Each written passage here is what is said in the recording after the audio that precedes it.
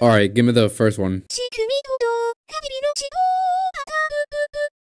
No, they're not. I mean, unless you only use your computer for homework and playing Minesweeper, then yeah, Windows Defender would theoretically be enough, but we both know that's not the case. The idea that antiviruses are useless really come from people that misunderstand what modern security tools actually do. I mean, like, come on. Viruses nowadays aren't just viruses. They are ransomware, trojans, stealers, keyloggers, sinful stealing extensions, botnet loaders, malicious scripts, zero-day exploits, phishing pages, malicious USB payloads, credential harvesters, fake installers. And we all know the best antivirus is your brain, but a human cannot detect all of these manually. So then who's supposed to protect you? Windows Defender? And by the way, this isn't sponsored by any antivirus, so you can download whatever you want. Just please don't do Avast.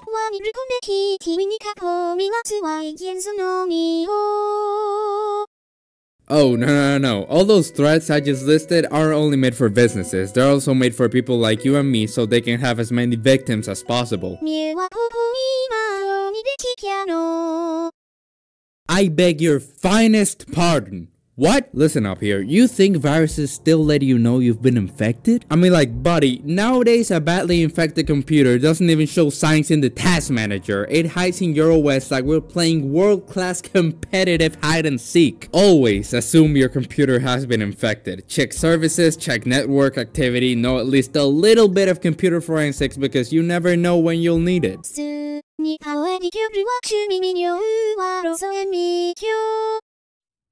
Remember when I said that these things protect you? Well, I lied. Kinda. I mean, it is true antiviruses help a lot, but they don't make you... Whatever that was. Look, again, your brain is the best antivirus. It's just not as robust as a computer. While an antivirus scans software actively to check if there's any malicious behavior happening, your brain only goes, hmm, Hmm. Hmm. Yeah, seems legit. Take a look at this. I like to do some malware analysis in my free time, and I took this cracked version of Sony Vegas from a reputable pirate, which doesn't mean anything, trust me. Turns out our dear reputable pirate gave us a cracked software with zero detections on VirusTotal and a 4 out of 10 on triage. But if we take a closer look in the behavior, we can see that, oh, why is it modifying Chrome? And why is it modifying register keys? So don't rely solely on your brain or antiviruses. Use both supposed to be as safe as you can and that's it. Oh, I wish it was that easy, but malware nowadays doesn't need you to download anything like it's 2009. There can be zero-day attacks or slip through websites, ads, Wi-Fi attacks, browser vulnerabilities, malicious extensions. By not downloading anything, you're not avoiding danger, you're just skipping the most obvious door. Mew.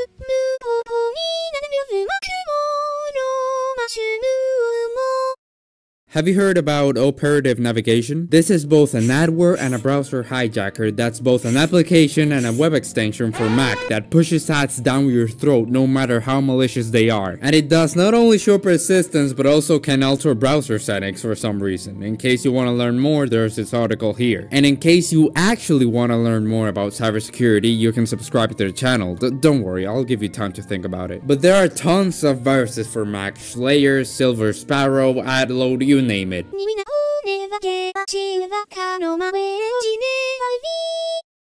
Oh, so you think only shady websites give you malware? Well, here's a shocking one for you. Completely normal, trusted, everyday websites can infect you, even the ones you visit daily. Because in reality, hackers don't need your mistake, they need the website's mistake. There's one I like a lot that happened in 2016 or something where a massive malvertising attack hit major websites. I'm talking about the New York Times, again, BBC, AOL, MSN, and the Weather Channel, if I'm not mistaken.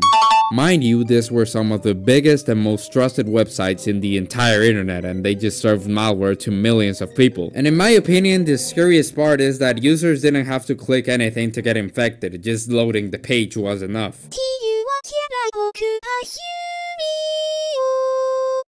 Nothing to hide. Alright, that's like saying you don't lock your door because you don't keep gold bars in your house. Burglars don't care about your gold bars. They care about anything they can use, sell, or exploit, and you have way more than you think. So it's not about hiding something, it's more about how valuable your data really is. And believe me, you are valuable. Doesn't matter from what perspective you look at it, okay? Just love yourself.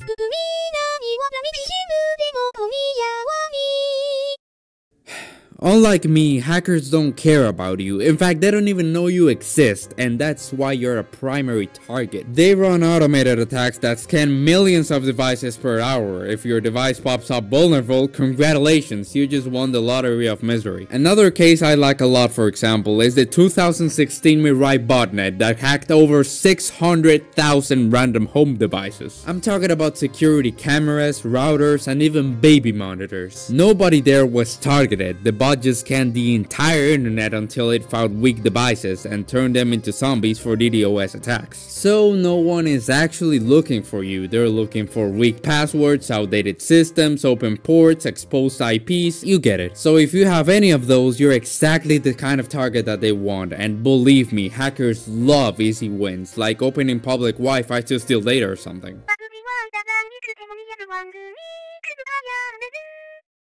Well, yeah, kinda. I mean, HTTPS does encrypt your connection to websites, but it does not protect you for everything happening on the Wi-Fi network itself. So take public Wi-Fi as the Wild West. Anyone can poke, pot, and sniff around your traffic at any time. And even though you're using HTTPS, you're browsing through the attacker, so they can still intercept DNS requests, send you fake login pages, block or redirect traffic. My advice? Well, the risk is just never worth it, really. Invi- No, no, no, no, no. Incognito only does this. That's it. That's the entire magic trick. Incognito is basically wiping your fingerprints off your keyboard, not the crime scene. These people can still see everything you do inside your network and all this information is still as clear as day. And it's just so funny because there was actually a scandal where they were tracking you while using incognito. I mean, it's just peak irony. Well, I'm sorry to break it to you, but a VPN hides your IP, not your identity. There's this website called clickclickclick.click that I really like because it just logs everything you do in the website and even has achievements. And well, I like it because if anything, it proves how much any website can know about you just by clicking it. And I think it's obvious, but a VPN cannot do anything about this. I mean, password leaks happen constantly. 26 billion credentials exist in data breaches, and I'm not even kidding. And to be fair, a strong password doesn't help if the website gets hacked. The good news, however, is that 2FA stops 99% of automated account attacks, and even though SMS 2FA is weak, it's much better than nothing. If you're curious as to why SMS 2FA is weak, remind me of talking about SIM swapping in a video. I think that could be fun. But at the end of the day, app-based or hardware key 2FA is nearly impossible to bypass without physical access. And it... Oh my god. Antiviruses. Use both... What is wrong with me? Like we're playing world-class competitive side. Run out of air. Too bad. But we both know that not. yeah, seems legit. For example, in 2029, insecure Wi-Fi, unpatched routers. Bulgur, bulgur, bulglers.